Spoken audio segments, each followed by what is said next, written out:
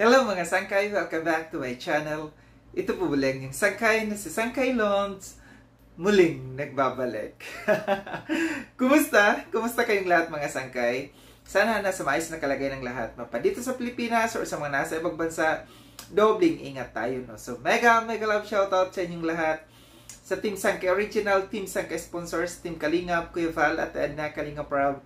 Sa lahat ng aking mga followers, supporters, and subscribers sa mga lolos, lolas, FWs, and PWDs. Mega, mega love shoutout sa inyong lahat. And of course, I love you all. Ayan. Ngayong araw na ito mga sakay, gagawa ko ng reaction video. Patungkol ito sa napanood kong vlog ni ano ni Ritz uh, Vlogs, no? Um, credit dito kay Ritz Vlogs, no? Uh, meron akong video clips na kinuha, ipapapanood ko sa inyo. Then kung gusto niyo na mapanood ng buo itong video na ito, puntahan niyo po ang YouTube channel ni Ritz Vlogs, no? Then kung hindi pa kayo nakapag-subscribe sa kanya, subscribe niyo na rin po siya. So, tara mga sangkay, panoorin natin tong video na ito. Then after natin na mapanood, magbibigay ako ng opinion o kuro-kuro patungkol dito. Tara mga sangkay. Yung i-PM niya sa akin, may napag-usapan na kami, either na imo-model na lang niya, wala namang problema sa akin at marami akong stock kasi online uh, seller business naman ako, kaya nag-ano talaga ako sa kanya, hindi talaga ako dumirekta sa iyo para malinawan ang lahat. Kaya laking gulat ko ngayon, bakit pa niya ang deny mo sa akin? Parang napasama, sama naman ang loob ko. Pasensya na po, gulat din po ako, di ko talaga alam yun. Kaya pasensya ka na din ha. Hindi mo akalaing fake account kasi 30,000 ang followers niya eh. Ang dami. Wala talaga po akong, hindi po talaga sumagi sa isip ko na scammer, scammer na tawagin natin, ano? Kasi, akala ko kasi talaga siya. Ay 35,000 ang followers niya. Yan, 30,000. Tsaka alam ko po, hindi, ganun po yung mga typings ko.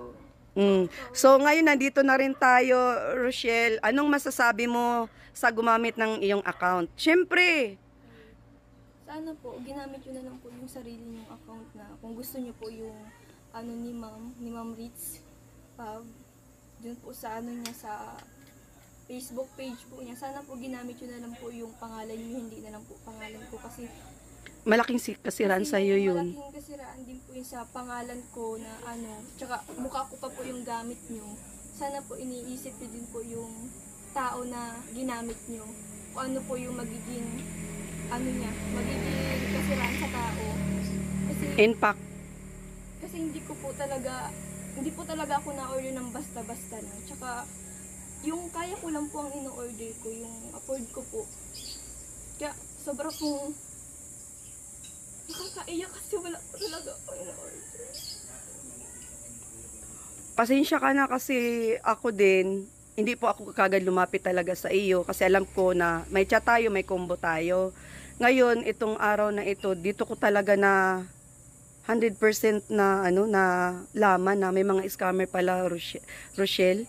Kaya po, Nagulat ako super duper talaga kasi sabi ko bakit niya ako dinidinay eh haba naman ng message namin.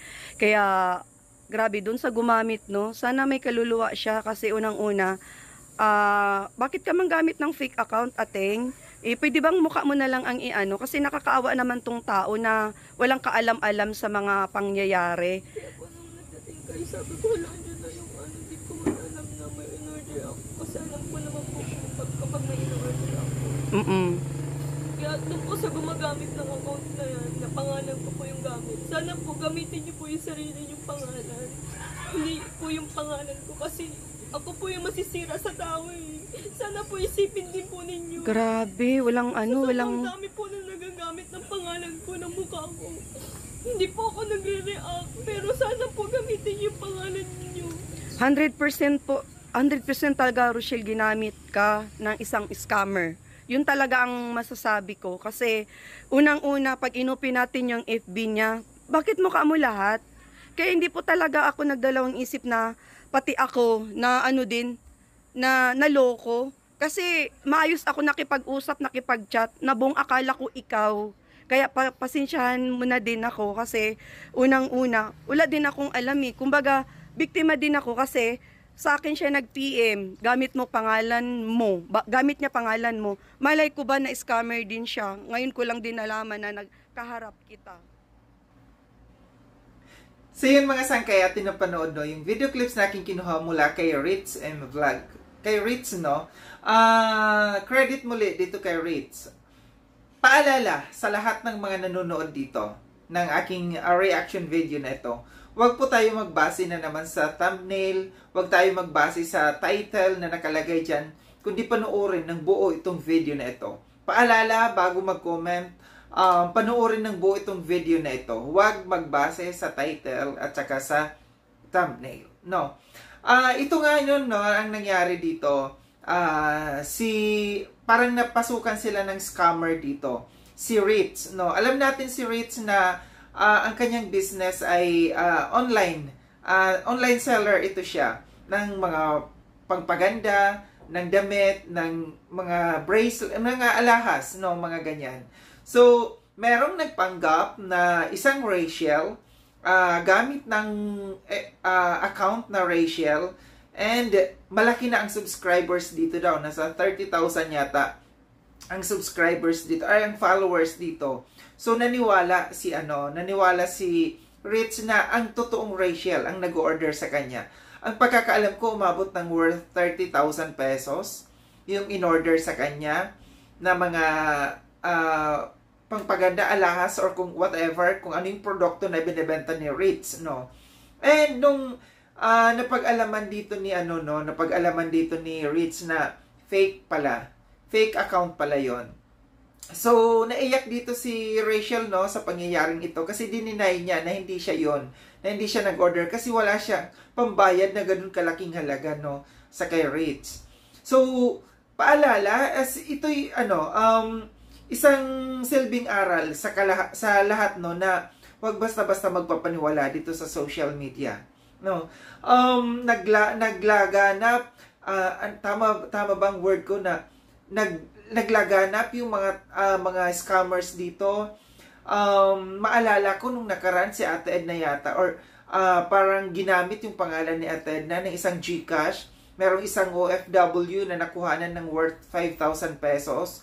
So, nandito lang to no? Ah, kagaya dito sa nangyaring ito kay ano kay Ritz no? Na dapat maging i- i-verify ng mabuti na kung authentic ba talaga kung legit nga ba talaga itong mga nag-order sa kanya. Kagaya na Rachel i-verify kung talagang siya ngayon no? Um kasi hindi maiwasan talaga. Kilala si Rachel um maraming gumamit ng kanyang pangalan ng kanyang pictures.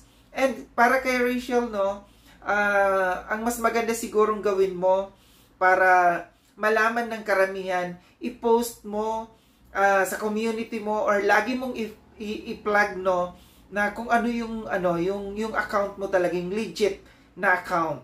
Para hindi hindi maniwala yung karamihan no. Ah, kasi talagang si feeling ko nandiyan lang yan. Kilala kilala si Rich kilala si ano si si Rachel na malamang ginamit lang talaga si Rachel para ah, lukuhin ito si Rich no ah, na mag-order ng kanyang mga produkto. So nakakaawa no, nakakaawa yung mga taong nagagamit ng ganito, ng mga taong walang hiya, mga taong walang puso na para manloko ng kapwa nila. So lessons learned no na dapat ah, pagka ganito na dapat bine-verify talaga kung legit nga ba talaga yung taong kausap nila.